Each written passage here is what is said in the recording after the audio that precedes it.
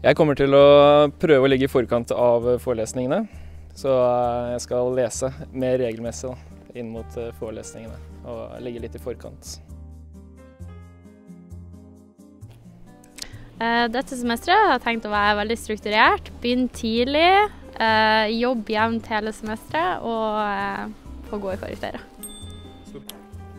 Ja, i fjor var det veldig at jeg stolte på forelesningene. Det var lite notater og det var mye det ble hektisk arbeid i eksamensperioden. Så det er veldig viktig å ligge i forkant nå.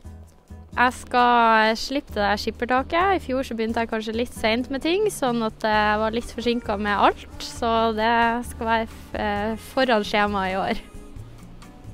Det som skjedde i forrige semester, det er jo at jeg kanskje begynte å lese, lese litt for lite. Stolte litt mye på forelesningene, og så ble det så jeg måtte lese veldig mye i eksamensperioden. da. Det blir jo veldig eh, annerledes i forhold til fjoråret. Eh, Det vil bli mye at jeg tar notatene fra forelesning, ligger forkant eh, og har ting klart til forelesningene, primært. Det er planen. Må jo prøve å starte tidligere med pensum. Jeg skal prøve å være litt mer strukturert i år enn det jeg var i fjor.